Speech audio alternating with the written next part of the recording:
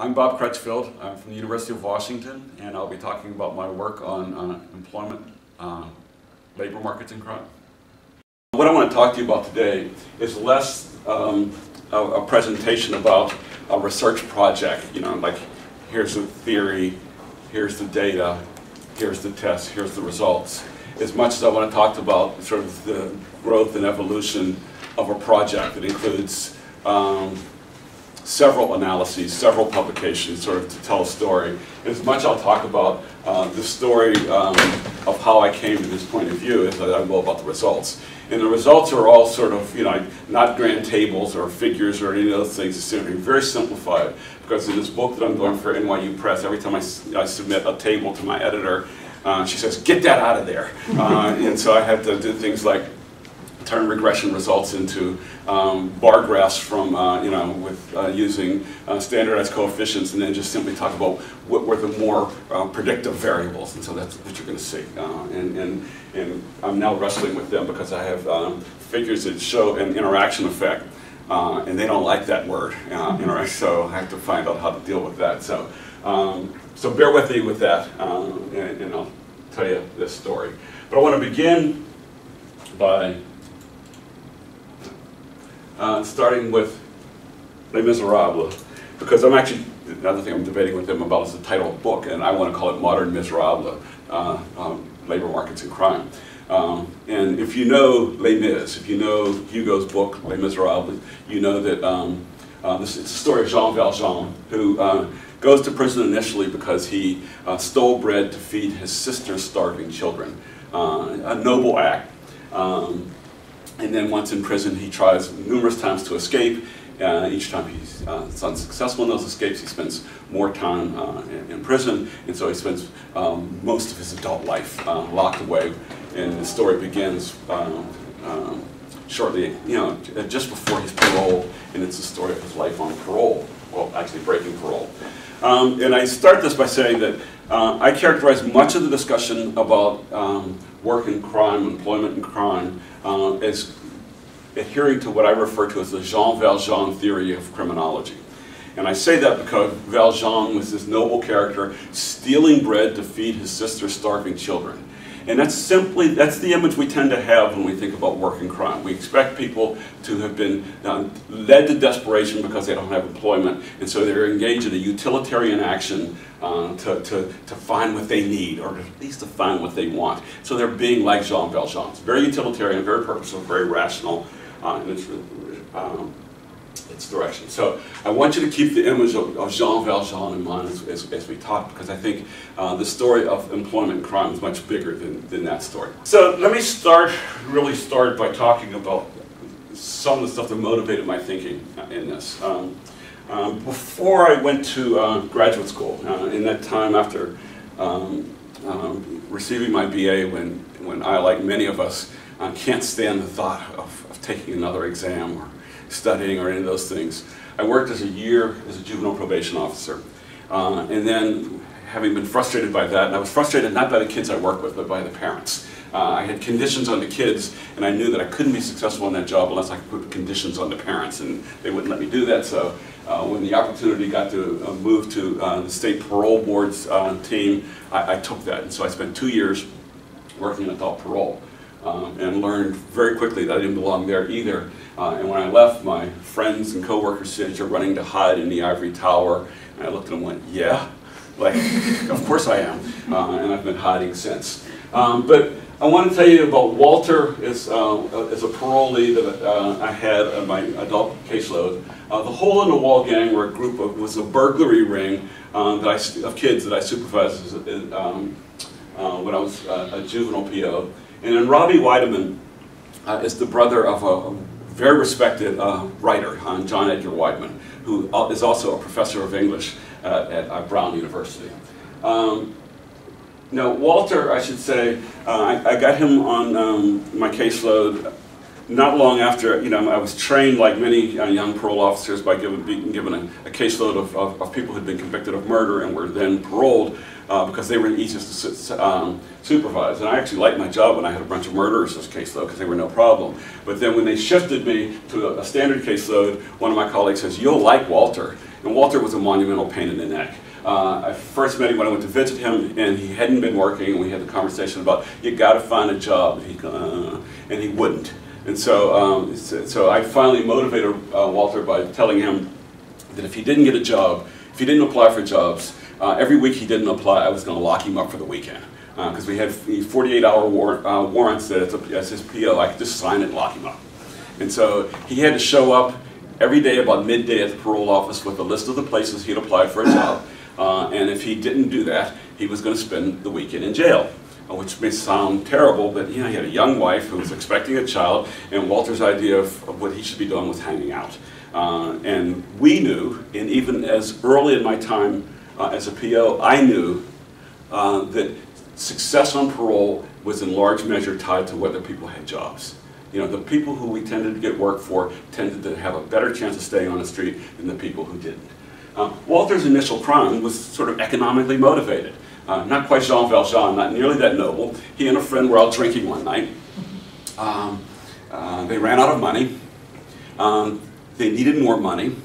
They followed an older man out of, the, out of a bar, and uh, just down the street they mugged him, took his money, and went back to the same bar they'd been drinking in. Real rocket scientists they are. The old man, needing help, retreated to the same bar he went he, he'd come from, where they called the police, and when the police came in, he says, yeah, those two over there. They locked up Walter, and they locked up his partner, uh, and then a few years later, uh, he ended up on my parole case. So the Hole in the Wall gang was this group of kids where, again, as I said, were a burglary ring. But the fact of the matter is, when I met them, uh, I had to laugh. The Hole in the Wall gang is actually was the name given to a group of serious desperados uh, in, in, the, in, the, American West during the 19th century who hid out in an area of Wyoming called Hole in the Wall. That's the, the Hole in the Wall gang. They were bank robbers, they were train robbers. This group of kids were as far from Hole in the Wall gang as you could possibly imagine. The notion that there was a burglary was funny. What they would do is they do they would live in a farming area. They would, um, would break into the outbuildings of farms and barns and hang out you know, and be, be 14 and 15 year old boys. Uh, and they wouldn't hurt anything, they wouldn't destroy anything. It was just the process of breaking in. So to call them a burglary ring was like, really? Um, so, so, so I want to mention them a little bit, but the critical thing about them is their parents were these sort of marginal people who um, didn't have much going for them economically, were sort of scratch farmers, not really making it in, in western Pennsylvania, where I was working, uh, and these kids weren't tied to school at all. You know, they just were bored by school and nothing was happening at home. Robbie Wideman, on the other hand, is very bright uh, and like the fast lane. Uh, Robbie Wideman is now still doing a life sentence without the possibility of parole in a Pittsburgh penitentiary, while his brother is a, is a professor of Brown. John, the older brother, older by 10 years, wrote a book, Brothers and Keepers, which is an exploration of he and Robbie and all those things. Uh, they grew up 10 years apart, which means the community they grew up in uh, was very different. Their motivations were very different, uh, and lots of things are different for them. Uh, and I'll come back to that at the end. But for to step down to the next step, Robbie Wideman engaged in his crime, which was uh, ripping off uh, an attempt to rip off a fence. He and, and two of his buddies uh, were going to make a deal with this fence to sell some stolen goods, and they were going to rip him off, uh, and they ended up killing him in the process, thus the, the felony murder. One of his rap partners, one of his partners in crime, uh, was a man named Cecil Rice, who was actually in my Boy Scout troop uh, uh, at one point. And that was in the Hill District of Pittsburgh, which is one of Pittsburgh's inner city neighborhoods where I grew up. Part of the motivation for me for this project was growing up in Pittsburgh. Because when I became a criminologist, one of the things that jumped out at me was looking at Pittsburgh's crime rate, which was compared to other cities like it, uh, significantly lower. Uh, and what's going on here was, was a question for me. Um, where I've come to now is in some ways influenced by Seattle Central District and Rainier Valley. The Central District is the heart of the African American community in Seattle. And Rainier Valley is that stretch of Seattle uh, just south of there where uh, minority populations have been moving. I'll show you a map of that in a little bit because you know the first analysis was of, uh, of Seattle to, you know, of, of, this work. So much of my thinking about this um, sort of grew out of this background. Uh, and when I first came to this project, which motivated it was a debate that was going on among criminologists about whether it was poverty or income inequality that, that, that uh, explained violent crime. Well, For starters, one thing that differentiates me from those who test the, Jean Valjean theory was I was more interested in violence than I was in, in property crime. So it started out, how do you explain violence with this? And well, for, for, for um, Walter, it would explain it. Um, you know, robbery is a violent crime. But it wouldn't explain much violent crime to talk about, um, you know, using the Jean Valjean theory. So I, I, kept thinking about that and income inequality. You think about one city in the U.S. that tended to have a high crime rate was Miami. Uh, Miami is a, is a financial district, it's a tourist place, and many people actually refer to Miami as the capital of Central and South America because it's probably the financial capital of that region of the world, um, so much money goes through it. And so the workforce in Miami is people at the high end who work in finance, who work in business, and those who serve them. Great deal of income inequality. Contrast that with my Pittsburgh, which as a kid growing up was a steel town where uh, lots of good, solid blue-collar jobs. And so rather than great income inequality, a more normally distributed income um, distribution uh, and employment distribution. And I thought there might be something in that because the way all of us come to poverty or come to a circumstance where, where, where we have unequal incomes is because of the work we have. We all touch the economy through the jobs that we have. So began, as I said, with unemployment and crime, and the utilitarian explanation uh, of crime and delinquency. People do this because they need money. Um, people steal other kids' Air Jordans or other fancy um, uh, um, athletic shoes because they can't afford them. Um, you know, those kind of things. But the problem is when you looked at the, if you look at the, if you look at the literature on unemployment crime, it's very inconsistent. It's very uneven. Um, some people found positive relationships between unemployment and crime. That's what we'd expect. That's the utilitarian explanation we'd expect. Um, others have found no relationship at all. You put employment rates in, or you put individual employment or not in. You know, some people found nothing. And still others have found uh, a negative association. This was for, for, for at least for, for burglary. Uh, and using um, a routine activities approach, the argument for that negative association is that essentially when people are out of work, uh, they remain home, they spend more hours at home, uh, they are guardians against their own property, meaning it's less likely that they'll uh, be burglarized. And so, you know, again, remember I started out thinking I was going to have a nice little thesis, I was going to you know, get some data, I was going to test it. All of a sudden, it's all over the map. It's not that at all. So early on, I had to accept that it's going to be a much more complex relationship uh, than I expected. And I had to do a number of things. One is to think more theoretically uh, and, and, less simply about what I was expecting. And other things I had to do were other complex tests to look at. Like one was uh, John Hagan and separately Terry Thornberry and Christenson uh, looked and said, you know, one argument might be that there is an employment and crime relationship, but it's, you know, the causal direction that I was thinking was, was backwards. Because one of the things that happens is when people engage in crime, their likelihood of sanction goes up, and their likelihood of sanctioning means that they'll be less competitive on the job market. People who, who engage in crime go to prison, they come out of prison with a record, they can't get jobs. And so maybe that's really what's going on. Uh, and along that same line is Devah Pager's work. I mean, her excellent work where she's done uh, she's done uh, accounting kind of uh, you know uh, experimental design studies uh, where she takes Confederates who are identical in every way except for for two critical variables: criminal record and race. And she has white with and white without criminal record, black with, and black without criminal record uh, and compares them and finds that um, having that record uh, significantly inhibits a person's competitiveness on the job market. Uh, and so it's consistent with what Hagan, Thornberry, and Christenson have said, that essentially having that involvement makes it less likely um, um, that people will get jobs. But she also finds that race really complicates this, that story. Um, because what she finds in, her, in, in, those audit studies, and it's good work, what she finds is that African Americans without a criminal record are less likely to get a second call back to an employer than a white person with a criminal record. So, so having the mark of African American is more damning than having the mark of Jean Valjean uh, uh, for, for a white person. So it's, again, becoming a more complex story. And then I, I in, in trying to figure out how to deal with this, I, I actually went back in my head to graduate school. And by that I mean I went back to literature that I hadn't read in a very long time. And it wasn't in the criminological literature, but it was in the social stratification literature.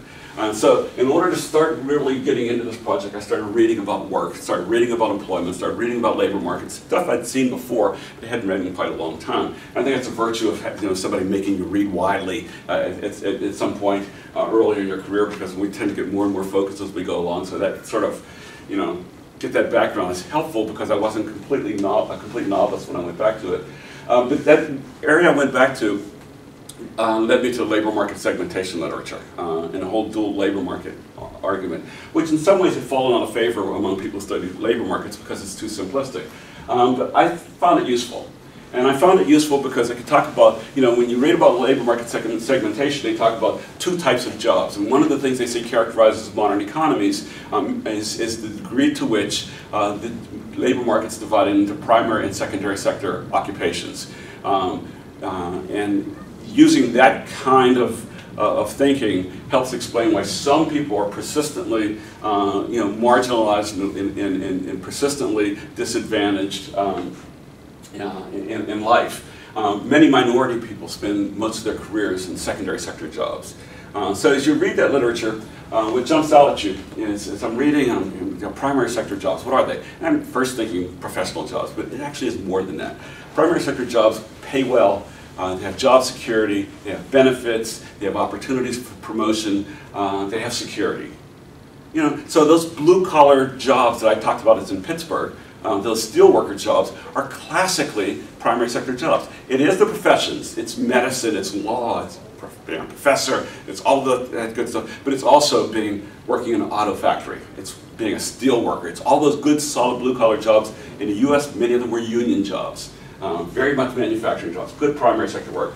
To be differentiated from uh, secondary sector work, which pays little, have few if any benefits, uh, no opportunities for promotion, uh, very insecure. People are in and out of the labor market quite frequently. Uh, and you know, in one talk I called it uh, a Mick job, referring to McDonald's. So you'd have to do the, since you call it Maccas here, I'm not quite sure, it doesn't flow quite as well, but you can work on that. Um, but anyway, you know, the, the Mick jobs are these secondary sector jobs that, that, that, really don't give you a stake in conformity, something to build a life on. So as a criminologist reading this stuff, the thing that jumps straight into my mind is control theory. And the whole control theory notions of why don't people engage in delinquency, why don't people engage in crime? They don't engage in delinquency or crime uh, when they have stakes in conformity, when they have something to bond to, when they have something to lose. So that primary sector job actually gives you something to lose. Secondary sector job gives you far less to lose. You know, quick example. Imagine two young men, any race or ethnicity, um, same age, same background, live right next door to each other, so no neighborhood effects. Um, one works in my town, Seattle, for Boeing aircraft. He's an entry-level worker at Boeing getting their lowest salary. Uh, and what's going to happen is that person knows that if they put in enough time, get seniority, they can bid and they'll slowly move up and, and, and, get better and better work at Boeing and they can build a life there. Right next door is his best friend who works at McDonald's. Okay, so some of their buddies come and knock on the first young man's door and says, hey, let's go out and get some drinks. And they're 19 years old, uh, and in the States, drinking age is 21. I know that's really depressing for some. Um, you know, so they're not going to be able to go out to a bar or a tavern. They're going to go out and get somebody to buy them beer or buy bad wine, and they're going to hide out somewhere you know, and, and, drink it. Um, but the first one wants to go. The Boeing worker wants to go, but he thinks about it for a moment. He's got a stake in conformity. He's got that job that's going to affect his lifestyle. It's going to affect his lifestyle, meaning that he has to be at work the next day, and he thinks, I can't show up for work hungover. So he wants to go. He tells them maybe this weekend, but this night he doesn't go. Simply, his job is helping to affect his lifestyle. They go next door and ask the second person, he too has to be at work at 7 the next morning. Except he works at Macca's. And he thinks about it for a moment and thinks, what happens if I show up hungover? I might get fired. What's he do then? He'll go across the hall, to, uh, the, the street to KFC, and he can get another dubious job there, you know, no loss no stake in conformity. So what I'm suggesting here is work conditions lifestyle. And then when you go back to the second, you know, the dual labor market uh, literature, one of the things I found there was the effect of, of, of employment and employment sector on lifestyle in lots of different ways. Who your friends are, what your networks are, all of those things are affected by work. So my example is a simplification, but there's growing and good literature to talk about how you, you, where you are in the labor market helps affect much of your lifestyle and pattern of life. So I use the, the labor market segmentation literature to begin building this argument. So what the argument goes is essentially, you know, the reason I argue that unemployment doesn't matter is because it's too narrow. Unemployment's a bureaucratic, it's a, it's a government sort of counting of who people, who's working uh, and who's not. Uh, but really the difference between being a secondary sector worker and an unemployed worker, is, it depends on the day. You know, secondary sector workers are in and out of the labor market all the time because of the inconsistency of their employment. So one of the things I thought that they do is, is to not worry about unemployment, but think about labor market marginalization, which would be a combination of secondary sector work and unemployment. Uh, and so these are people who are marginal to the labor market. It's to be differentiated from people in primary sector jobs who, who tend to be uh, fairly consistently employed.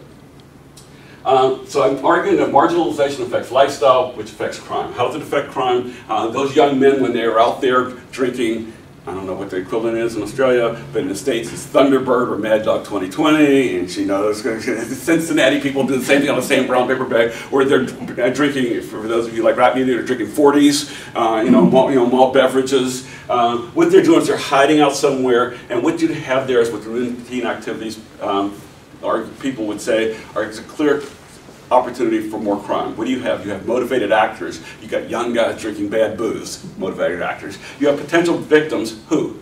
Each other. You know, they're going to drink and they're going to have a good time, and at some point somebody's going to say something that's going to be interpreted as disparaging about somebody's mother, their girlfriend, uh, or they're going to scuff somebody's shoes and they're going to hit each other. You know, crime is going to happen. Or you're going to decide uh, at the end of your social evening of having a good time, you worked hard, you decided to go out and have some drinks, you have to stop past 7-Eleven on your way home to pick up some Cheetos or something uh, to nibble on once you're at home. And you're a potential victim as you go past where they're sort of being. And the other thing that's there is, you know, you know, routine activity says motivated actors, potential victims, lack of guardians. They're hiding for a reason you know, so they can, they're not detected. So we have the perfect situation. So I'm not saying they go out to commit crime but the pattern emerges. And you can do this with adults, with young adults. You know, where do they spend time? Bars and taverns and pool halls and places where people get drunk and fight and do those things. The lifestyle itself, I'm arguing, sort of frees people for lifestyles that may be crime conducive. The challenge then is labor markets and juvenile delinquency, and I'll come back to that, because as we all know, a great deal of crime actually occurs um, from juveniles. And, and, and, and, there's early literature that found that if, essentially when kids worked, they were more likely to become delinquent. Uh, and I knew that, so I was like, eh. So, you know, when I began this, I just left delinquents out. Uh, but I will come back, we'll bring them back in. So, my city, this is Seattle. Um, and, and, and I got to tell you a little bit about the topography and all that because it matters too. Here to the west is Puget Sound, a saltwater branch off the Pacific Ocean. This is the port in here. This is the CBD right here. On this side of the city, it's a freshwater lake, Lake Washington, uh, about 20, 30 miles long, about kilometers. Uh, uh, about its narrowest point, about um, five kilometers or so wide. Uh, Susanna actually lived up there and had to sort of drive across the floating bridges to get to the university, which is right about there uh, coming in. Um, this is the central district that I told you about, you know, which is the heart of the African American community as I said, CBD. This is the International District, which used to be Chinatown, uh, and this is the Rainier Valley. Okay? Uh, so what you have here is, you know, I, I, did this analysis using multiple regression controlling for all the important things, um, the age structure of the community, the, um, uh, the marital status of people who are there, the educational uh, distribution of people. Uh, and so, you know, this map is only to illustrate the pattern uh, that, that, that, we're primarily interested in here. And the cross-hatching talks about the number of civilians not employed. And you can do this with males employed, you can do it with adult you know, males employed. Uh, no matter how you do it, it comes out the same. And I've, you know, if, if, you, if you buy the book when it comes out, you'll see lots of different maps of different cities and it, it comes out the same. Crime rate, violent crime rate is indicated by the size of the dots. Okay, and so what you're saying here is if you control for CBD, uh, because CBD is very different in lots of ways. You know, lots of crime because of what happens, what goes on there. You know, uh, and few residents, and so it has an outsized and strange and not really appropriate crime rate. Um, but if you get, if you control out that effect, what you find is a very strong relationship between um, labor market marginalization, remember the combination of unemployment and secondary sector work, and violent crime. Very consistent with what I argued. Now, the reason I mentioned topography is because right along here is a ridge. And so the properties on this side of the lake are view property, and they're high price. On this side of the lake, it's the Rainier Valley. And the Rainier Valley is one of Seattle's most, actually it's one of the nation's most diverse. Um, right in here is, is a postal code, uh, which is, according to the Census Bureau, the most diverse postal code uh, in the United States. Uh, African Americans, Asian Americans, immigrants from Africa, immigrants from Asia, Mexican immigrants, uh, it, it, you know, uh, quite a mix. But I don't think it's about that diversity that makes a difference with crime. I think it's about the low levels of employment. So one of the things you get with Seattle is you get this, this topographical plans where uh, things where people live near Lake Union or the bays, over here where there are views, and crime rates tend to drop as a result of that. But that also means that people are in close proximity, people who are marginalized are in close proximity uh, to people who are not. And much of Seattle's crime uh, uh, can be explained by patterns like this, but also by patterns of, uh, uh, of geography. Uh, but it, it, supported what I was doing, and my first presentation of stuff like this was on the Seattle aggregate analysis. And uh, I made the presentation, and the first question was the question all of you are asking, Bob, this is aggregate. How do you know who's committing a crime? You don't, you don't, you don't, you're talking about the rates, you know, what about the ecological fallacy? And I said, very defensively, um, well, I would look at individual stuff, but there's no such crime, um, no such data that would allow me to do this on, on a scale looking at violent crime. And an economist who was on the same panel uh, at ASC, uh, uh, Jeff Grogger, said, oh, Bob, but there is. Um, there's um, there's uh, the National Longitudinal Surveys of Youth. And the NLSY is a, is a national survey about, of about 12,000 people. Uh, and, and that 12,000 uh, people range from 14 to 21. and it, it, was a longitudinal survey that started collecting in 79. And um, uh, it has lots of good things to it, but the biggest thing was in that first year they asked about crime. Uh, and so we had enough people that you actually had people engaging in violent crime. It's very skewed, uh, but they're there, and, and, that typically is the case. It has wonderful um, data on, on, on labor market participation because it's funded primarily by the Bureau of Labor Statistics in the U.S. Uh, and so I went to the NLSY and discovered that Jeff sort of had led me right in one respect and led me wrong in another respect, and worked with NLSY hazardous to one's long-term health because it's very frustrating.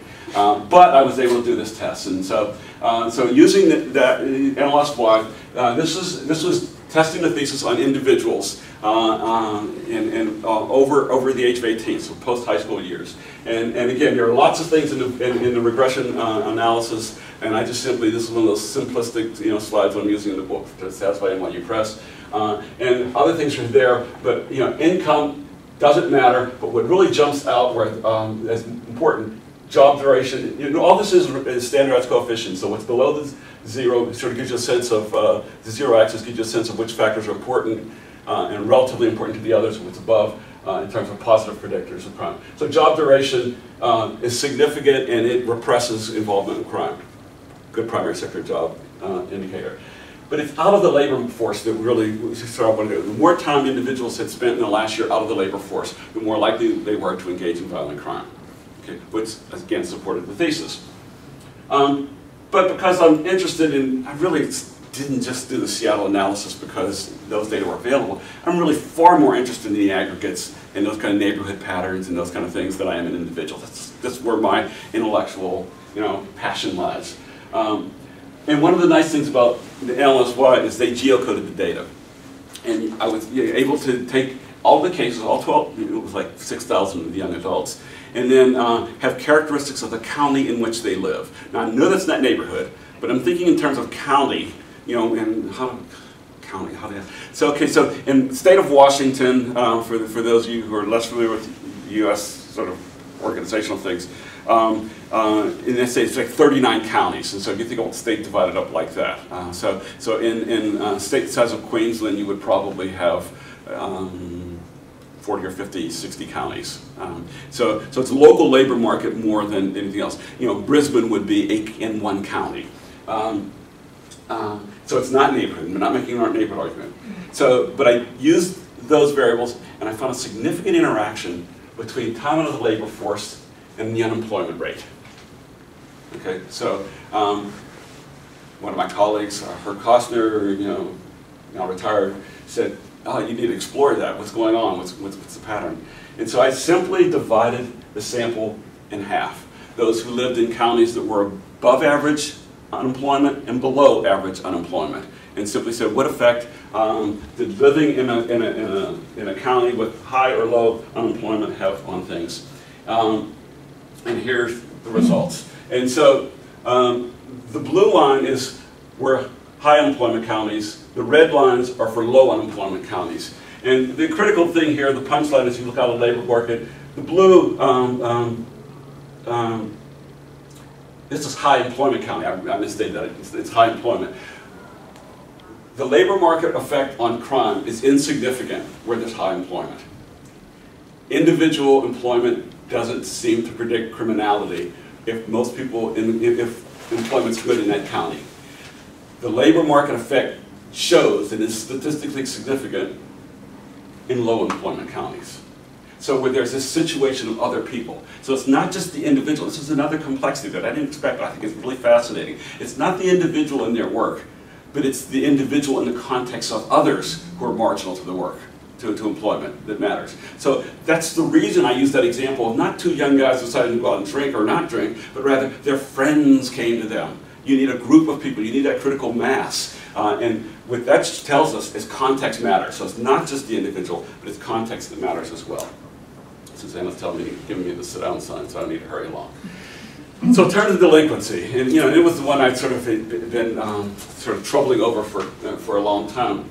Uh, and you know, if you think about you know criminological theory, and it's obvious that if you want to explain delinquency, you don't think about jobs, because again, in the early literature said kids who work were more likely uh, to engage in, uh, in delinquency, less likely, which is always peculiar because uh, the U.S. government's always fond to say we're going to deal with delinquency by getting kids after-school jobs, and I'm like, you know, wrong idea. Um, because what we know is school, it's school that matters. It's not employment that matters, it's school that matters. Kids who do well in school are, are far less likely to engage in delinquency than kids who don't do well in school. Control theorists and people from other theoretical you know, uh, leanings have found that for a very long time.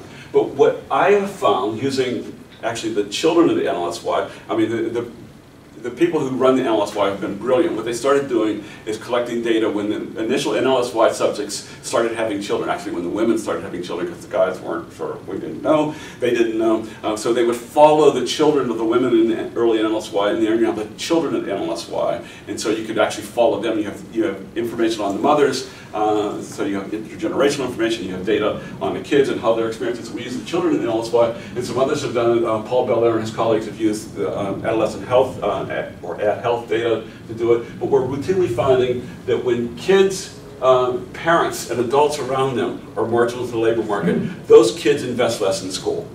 And so labor markets start to have an effect on kids, not directly, but through what happens with their parents.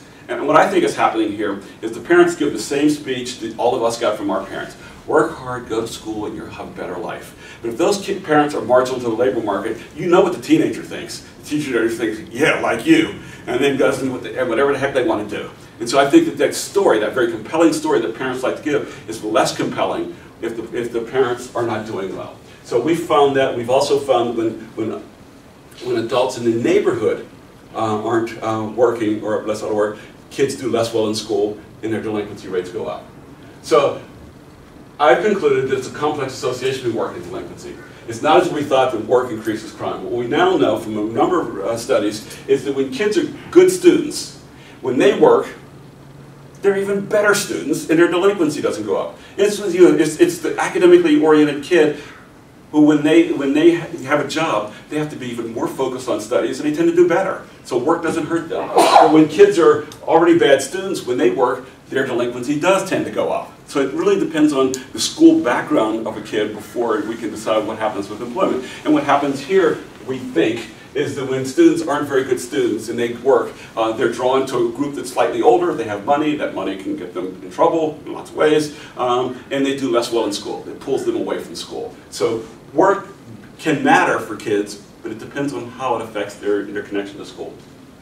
But we're also all finding that if, uh, if a child's uh, not in school, they should be working because the worst case scenario is when they're neither working nor in school. So uh, the thing about the Ellis, children in LSY, actually all of it now that I, I learned, was that um, was that these data are also geocoded to county, but they're also geocoded to census tracts. And census tracts are administrative units, but they're neighborhood-sized uh, administrative units. And so for this analysis of juveniles, uh, and for a, a, a follow-up with, with adults, um, we looked at, um, the context of neighborhood too. Um, and in that context, what we find is, is that neighborhoods don't seem to matter for, for adults. You know, it's county that matters for adults. And I think that's because for adults, it's about work and employment, and it's how strong is the local labor market. For kids, because kids are more constrained in their neighborhood, it, you know, their neighborhood seems to matter in terms of their delinquency. And this sort of shows that a little bit.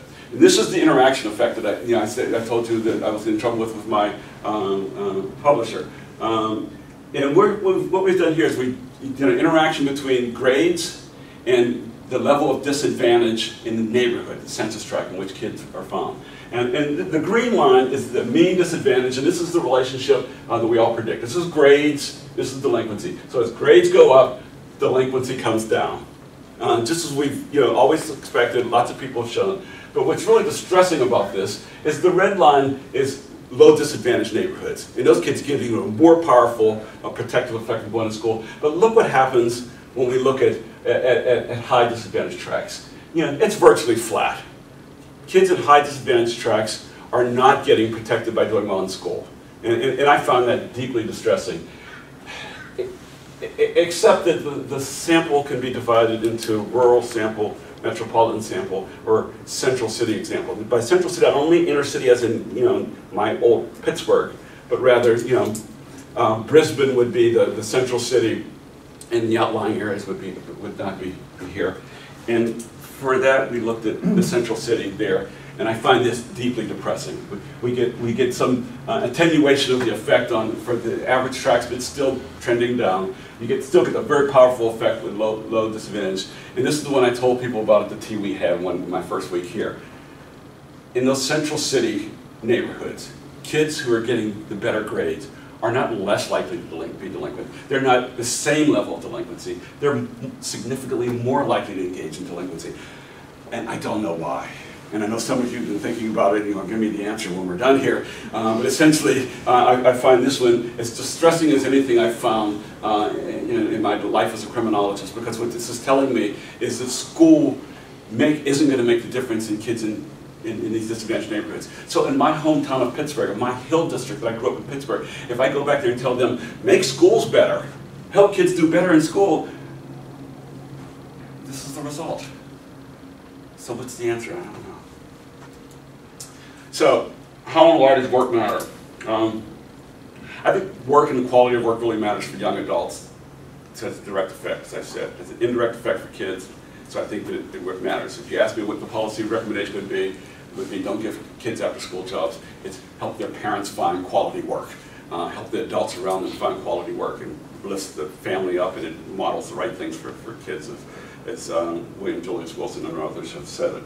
Um, I think importantly, employment patterns also affect levels of disadvantage. We get those big disadvantaged communities because so many of the adults are out of work. You've gotten changes in the U.S. with deindustrialization, where you get big swaths of places where there are people out of work. I don't go get back to my Hill district of my youth very often, but when I was a child there, there were steel workers living there. Steel workers don't exist in Pittsburgh hardly anymore. And so the people who live there are people who are very marginal to the labor force. It's, it's a very different place. It was a scary place when I was a kid. It's much scarier now uh, in, in, in, lots and lots of ways. Uh, and so um, so what's happened is that that changes, and it's all the structural changes that Wilson and Doug Massey and other people write about uh, and talk about structural disadvantage, and it affects things like education, and even lowers the level of education.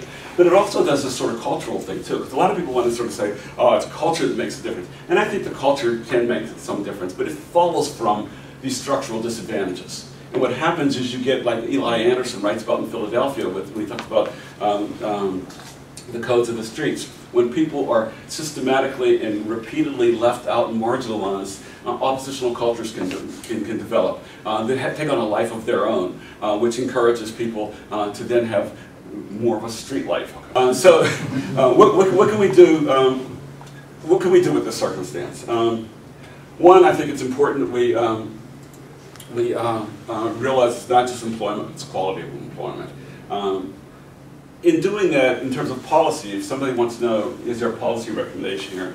I would say to, to governments, governments are fond of trying to attract employers and people who are going to, you know, build by giving tax breaks. And I think they need to ask the question, what kind of jobs are going to create? Uh, in the book, I'm not sure they're going to let me do this, but I talk about the Walmart contradiction. And Walmart is the kind of company that comes in and makes big demands from, uh, for, from state and local uh, jurisdictions to put a Walmart there because they don't bring employment. But Walmart underpays its workers. Uh, in spite of the commercials they do, they underbenefit them. There's good research that shows uh, that Walmart is being subsidized in California uh, by the state, by the number of people on state health care, state uh, um, income supports, and those kinds of things. Uh, and what Walmart does is it not only under, undercuts, underserves under benefits its own workers, um, but it undercuts the, um, the, uh, the, salaries of similarly situated people locally. And so there was a, a strike of grocery workers uh, in Southern California. And it was because the grocers wanted to cut their wages and benefits because the, the grocers needed to be able to compete with Walmart in terms of their pricing. Uh, and so everybody was hurt. So it's, it's the Walmart contradiction, not just because they underpay people, but what they're doing is their market is actually people um, who are in those lower income brackets, and to the extent that they undercut the discretionary income of, of their own workers, they undercut the discretionary income of everybody, which means in the long run they undercut their own profit margin. So I think it's one of those you know um, long-term problems for them. So I think government needs to look into what kind of jobs are going to be created if we give you the tax break, and then hold them accountable. I think we need to worry about quality education and quality education for everybody, but that doesn't solve the problem that I talked about with the inner city. I don't know how to solve that. Um, but one possibility that someone suggested the other day is maybe the schools are so bad in those neighborhoods that the, the, the good kids, if we can go through the motions and get by, uh, maybe if we, if we gave them better schools, that, that would turn around. I don't know. Um, we do small fixes. In most American cities, there's a spatial mismatch where people who need the jobs have a hard time getting to where the jobs are. Uh, if I went back to the Seattle map, I would show you where Microsoft is and all those things. And if you live in the central district, you can, you can get there, but it takes hours on buses. Uh, so deal with the spatial mismatch by making sure mass transit goes to where the jobs are, not just where people want to go. So think about Walter. We can think about small fixes or big fixes and other things. So the Walters of the world are people who Walter didn't want to work. We need to find ways to motivate the Walters. I'm not trying to do that. The hole-in-the-wall gangs, we need to motivate their parents and make sure their parents have something good. Otherwise, these kids are going to be marginal to, to, to school, they're going to be marginal to all those things, and they're going to find things like barns to break into to entertain themselves. The Robbie Widemans are the people who, are, who really can have an effect because they want a better life than they're going to get. Now, John, his older brother, was able to build a good life coming out of the inner city Pittsburgh neighborhood they grew up in. Robbie wanted more than he could get coming out of there because the neighborhood had changed. And so it's the Robbie Widemans, if we come up with good primary sector jobs, that you're going to you're gonna get.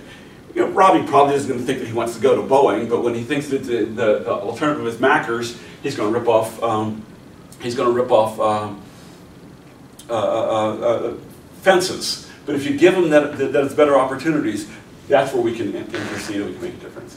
And I just will finish with uh, the question of, you know, somewhere in Australia, uh, are there, there are people without quality jobs and with poor education. The question is where they are. And I would finish with the notion of saying, I'm convinced it's not just those people's situation, but the context in which they find themselves. Now, happy to take your questions.